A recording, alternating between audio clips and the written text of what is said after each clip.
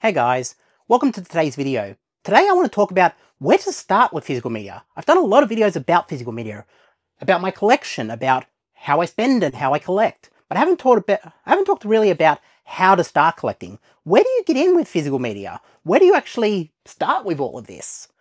Well, first things first, you need to decide where you want to collect. What do you want to collect? What format do you like? I mean, I've talked many times about DVD is certainly not an old format. It definitely seems old because by modern standards it's outdated, but it can still pack a punch if you know what you're getting into. And that's one thing I would want to start on. Know what you want to target. For me, I collect everything, but my preference, you can see behind me, is Blu-ray. The Blu-ray collection is the backdrop for most of my videos. And it's split into two parts. I've got 4K Blu-rays, and then down the bottom I've got standard Blu-rays. I've also got some off to the side.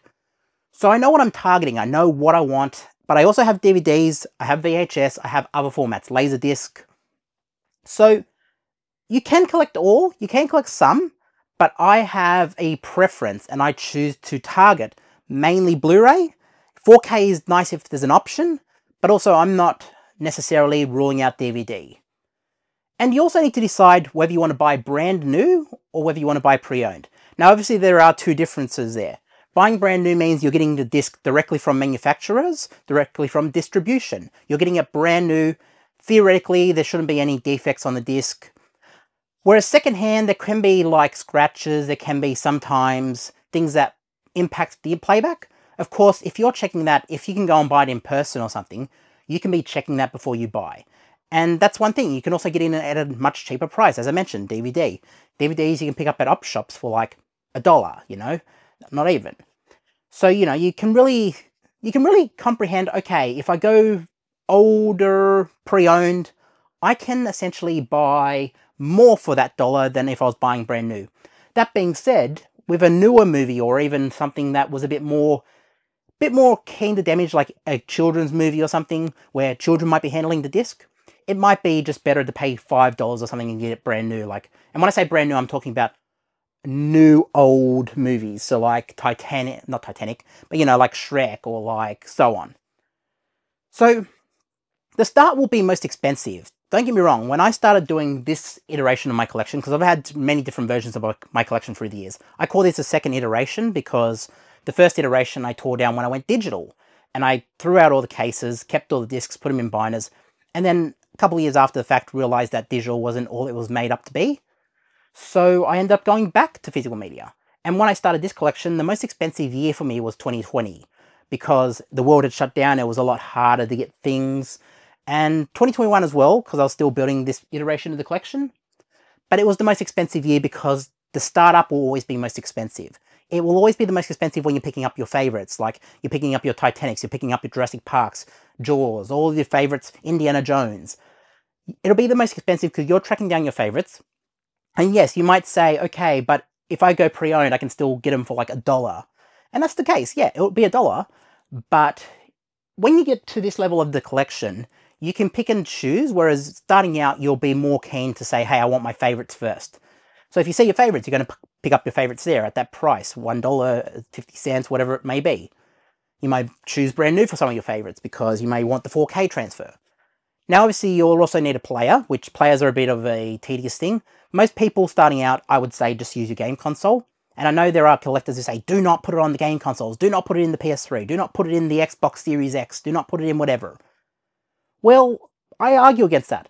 If you've got a player and you're getting into collecting, not a long-time collector who needs, who wants the best of the best, if you're just starting out, there's no reason why you can't use the PlayStation. There's no reason why you can't use what you already have. As long as you can play Blu-rays, you can use what you already have. Now, if you don't have something like that, I would recommend the game systems, like older generation game systems. The PS4 is still available in some stores. Get an old stock PS4 for like a hundred or something. And it's not the same price as the PS5, but it will do the job. It will play your Blu-rays. Now, if you want to play 4Ks, I would recommend going towards maybe an older Xbox One X or something, or One S. Something that can play 4K discs there are options out there. You can probably get them on the second-hand market for a hundred as well. But I would say look at the cheapest method, which the cheapest method is the game systems. Now, if you want to be a hardcore collector and go the hard route and say, yep, I want the best of the best, I use the Panasonic UB820. I have an OLED LG C9, and that is my setup. I use what was the best player of 2019 or 2020 and the best TV of 2019. So when I bought them, they were the best in the world and they are still really good. A good setup work together. So when you start out, it will be more expensive, as I said, and that's part of the cost. You will be getting your players, you'll be figuring out what you want to watch on. If it's a CRT, you'll be picking up your CRT to watch older stuff. That's the most expensive. The startup is always the most expensive, and you need to keep that in mind because that will work into your budget. You also need to ask if, um, where possible, if you're buying online, this is not always possible, but checking the disc before you buy. It is very important with used things, especially when you don't really know the condition. eBay might say it's brand new, but it's not always brand new. So Marketplace is always good because you can prefer meeting in person and checking the disc. Also stores, if you can get it at a second-hand store like a, um, a GameStop or EB Games in Australia, or, you know, if that's games, or even with physical media, you can go to like CEX or the Salvos, you know, you can check those before you buy. And just know what the disc look like. Hold it, up, always hold it under a light, so that way, if you're buying a disc, it'll it'll show a few more scratches or whatever. It'll show what the hidden flaws might be with the disc. So I always hold it under like a light and just hold it up and then tilt the disc around, just make sure like, okay, I can see all angles of the disc, make sure there's nothing hidden down in there. And then I make my purchase if I want. Um, and then if brand new, um, one thing you want to be aware of is if you get the if you get the game or the um, the Blu-ray or DVD or whatever, if it's brand new, always try to steer clear of if it's loose in the case when you're going to buy it. I mean, some people might say it's a really hard one to get, so I may pick it up. And there are situations where I've picked up ones that have been listed in the case. But keep in mind that if these things are coming around the world, like if you're getting it from the UK or if you're getting it from the US in Australia, or if you're importing in the US from like things like Umbrella, then you are more susceptible to that getting damaged in shipping. So be aware of that if you're getting it brand new, before you open it, I would always just give it a night, a little tilt and just see if anything's loose in there. If it is loose, I would probably steer clear of opening it and just asking for a replacement copy or something, or just bringing up. Obviously, you need to open it and just double check. Obviously, they'll guide you, but I would say bring it up with manufacturing first and just say, hey, this has come loose in shipping. Um, should I open it? Should I send it back and get another copy sent? Or it's always good to check that. I would always say, hey, if um, if you do open it and it's got a big scratch on it, I prefer opening it, but always be aware that if it comes loose in shipping, it can be damaged when you open it. Uh, once you have bought your media, you have to figure out arranging. So obviously, you see the collection behind me. It does. It may look like a big mess, but all of this has a way I arrange. So the way I do it is I separate into formats. So I've got 4K at the top, as I said. I've got Blu-ray down the bottom.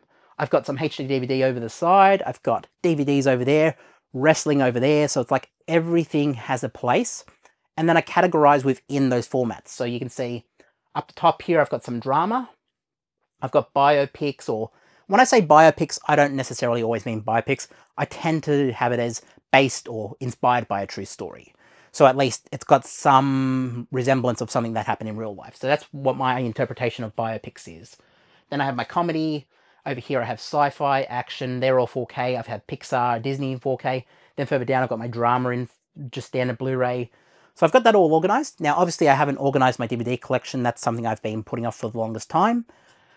Obviously you have to figure out how you want to arrange. I've had my wrestling DVDs behind the door arranged in terms of pay-per-view, so in terms of when the pay-per-view aired. So if it was aired in 2024, I would have that 2024. Now, obviously, they don't manufacture DVDs in 2024 for WWE.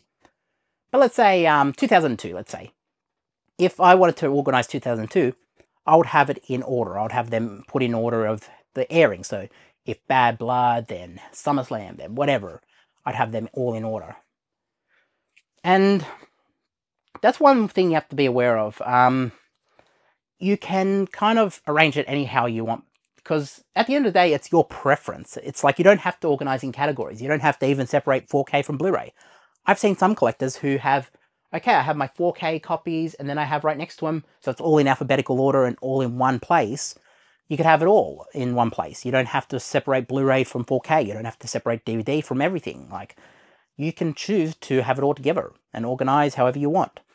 It's all user preference. I just prefer having different categories because if I know, hey, I want to watch 4K of Titanic, I can say, oh yeah, that's in biopics because it is a true ship. It's not a true story. Obviously, Jack and Rose isn't a true story, but the ship is real. The, the Titanic is real. And a lot of the characters in that movie are based on real life characters. Molly Brown, you know, so on, you know, J. Jacob Astor, like all of those people are based on true real life people. So I put Titanic in the biopic section, even though, because as I said, it's inspired by a true story. It's not necessarily a true story, Jack and Rose, but it is inspired by a true story. And Cameron took a lot of things from historical art, historical um, accounts to make Titanic and do the backstories of Titanic rather than the main story of Titanic is J Romeo and Juliet. Um, don't shape out on a player. So obviously this is something I have, um, I just mentioned here, get a PlayStation or something. I'll recommend always don't cheap out on it. So people will say, oh, just go, go to the, go to the nearest Big W or Kmart or whatever. Get the cheapest one you can find, no worries. I would say it's the same as vinyl. Some people will say, oh yeah, just go get the cheapest. But as vinyl collectors will tell you, and as I will tell you, you want to essentially not cheap out because it can damage the disc. Keep in mind, there are corners being cut to give you that cheap price if it's a shop like BW or something. Now, if you don't care and you're just watching DVDs on it and you don't mind, a $29 DVD player is not going to be too bad from Big W, don't get me wrong. There are reasons why you would pick that up. And, I mean, if you're starting out and you don't mind, just be aware that if you hear rattling in the player or anything, um, there are reasons why cheap players are not the best, and that's why I meant that's why I mentioned the game systems because the game systems ship with at least some level of quality control, even though you know we're getting to that day where disk drives are no longer being shipped in the consoles to an extent. Um, and then always store your meter when it's not in use. Don't leave it in the player.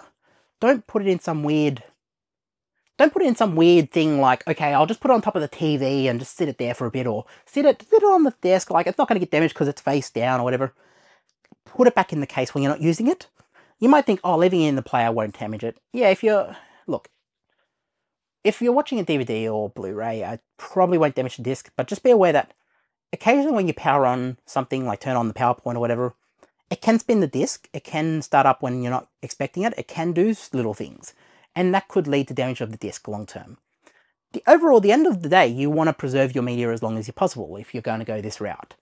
And you want to make sure that with your media, you are getting the best experience. And you obviously you don't want that you don't want that disk to be out of the gate scratched, you know. You don't want to store it in the wrong way and then you pick it up off the thing and it's all scratched because you've stored it face down or something.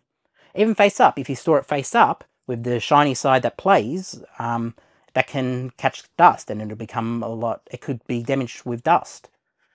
So try to put it back in the case when you're not using it. It's a two second thing that will protect your investment. Trust me on that one, it will protect you. And with DVDs, and I have to say this for some Blu-rays as well, because I've seen some people who get into the format and say, oh, DVD looks like rubbish. Oh, it's, I've got my new 4K TV, I've turned up sharpening all the way, and it looks like garbage what did you think was going to happen? I mean, if you bought a DVD that's limit, you have to look at the formats as what they are. DVD is standard definition, and if you're trying to put it on a 4K TV in sh sharpening it all the way up, sharpening doesn't mean it's going to necessarily make it look like a 4K Blu-ray. You know, it's not going to look like that. Now, there are some situations where sharpening does help. A little bit of sharpening will help a DVD look the best it can look. But it's essentially what sharpening is, is it's guessing information that's not there based on the information around it. So if, if it's a photo of Sam Neill's face from Jurassic Park, and it's a standard definition picture from Jurassic Park, it'll try to guess, oh, okay, I don't know what's behind him, but that kind of looks like a T-Rex, but it'll sharpen it because it doesn't know what it's seeing. It doesn't know what it's looking at. And it's getting better. I mean, AI is starting to come into some of these players and starting to come into some of these systems. But sharpening a DVD to 4K resolution or sharpening it as high as it can go will not make it 4K Blu-ray. Watch it for what it is. It is a DVD. And yes, I always turn sharpening off when I watch DVDs because if I'm watching a DVD, I want it to look like DVD and I know what I'm getting. If I wanted to watch Blu-ray, I try to sh turn sharpening off on that as well. If I'm watching a 4K, I don't obviously need sharpening because my TV is a 4K TV. But understanding what you're looking at, what you're collecting, is a big part of collecting. If I've watched a VHS, for example, I would have the VHS. I have it connected currently to my CRT television. Haven't watched the VHS in about a year though. But if I wanted to watch a VHS connected up to my 4K, I'm turning sharpening all the way off. Like, I want it to just read what's on the tape and play it as it's coming off the tape rather than trying to guess information, rather than trying to upscale, rather than trying to anything. Now, obviously, there are some upscaling options that are necessities. Obviously, if you're putting a 720p picture on a 4K screen without any upscaling happening, it'll just be a little box in the middle of the TV with black all around it. So upscaling is a necessity, but sharpening is not a necessity. Turn sharpening off and try not to upscale where possible. Like if it's possible, try not to, um, but some are necessities. And then, you know, collecting, that's all my dot points for that one. But collecting can be such a great experience. Just enjoy it. Like, that's one thing that we don't think about as collectors. And as we all get on YouTube and start talking about, look at my collection, look at how great it is, here's what I love about this, here's why digital's bad. You know, I've done a few of those videos too. But as we get on here, we stop and we really get into that mindset of, hold on, what is collecting about? Collecting is about you having the ability to switch offline and no matter what happens, whether it's a hurricane or whatever, I know there's a hurricane that's went through North Carolina and some parts of America. I know that's a pretty big, um, pretty big thing at the moment. And anyone who has been affected by that, um, just know my thoughts are with you. Um, but stuff like that can knock uh, an internet grid offline. You know, it can knock down power grids. You know, and if um, you have the ability to still have that, that entertainment available to you like this, um, you know, the power will be always the first thing to be restored. Like without power, a lot of things fail. So a lot of companies, a lot of governments look to restore power first. The power grid is number one. Obviously, plumbing grids, all that stuff, water as well, you know, all of that does get restored as well, and they're the first things. Internet is not a necessity in a lot of situations. Yes, with things like Starlink, it is making it more accessible when things happen like that but you do have the ability to switch off. Like, you know, I was watching last night, I was watching, let me see if I can get it off here on the shelf. I had never watched Punisher Warzone, which might seem like a bit of an odd one to me buying this and then never watching it. But I watched this for the first time last night, and Ray Stevenson is amazing as the Punisher. He passed away a bit too soon, like I would have liked to have seen a... Obviously, look, he... They didn't make a sequel to this because it got universally panned, but I think he only passed away a year or two ago. And Ray Stevenson was a really good, um, he was a really good Punisher who we didn't really see his full potential. Like, I think we could have seen a bit more from this type of Punisher. Don't get me wrong, I love the Thomas Jane Punisher any, as well. Like, there are different versions of that.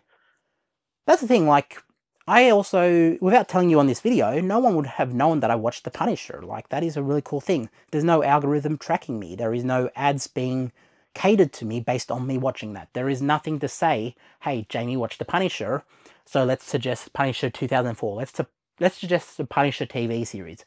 Let's try to put an ad for Disney Plus. You know, there is none of that happening because my physical media collection is mine and it is something that is offline, something that is just me and I can experience it offline. But yeah, that is just the point of this video, guys. When you get started collecting, It'll be the most expensive because that's when you're starting. You want to get all your favorites, obviously, first. They will be the first things you collect, your TV shows, your favorite movies. They'll be the first thing that you pick up. They'll be the most expensive. And then after that, you can pick and choose. You can say, hey, do I like Triple X, uh, you know, Triple X is all right, Vin Diesel. I've got the other two down the bottom, like the Ice Cube one where he steals the tank and that. but I didn't really need part three, but you can analyze that at the shop and go like, huh, it's, it's a new Triple X movie. It would be a compliment to the other two in my collection, but do I really need it? So I would have waited for that to go on sale, I reckon. I would have picked that up on sale. So, you know, you can pick and choose the experience, and you can pick and choose how expensive you want it to be. You could get, you could fill a whole DVD collection for maybe a couple of hundred. DVD is a bit more a bit cheaper, but Blu-ray is a bit more expensive, and 4K is way more expensive. So you need to pick and choose. Obviously, if you're getting into VHS, that's going up in value now because VHS has become collectible.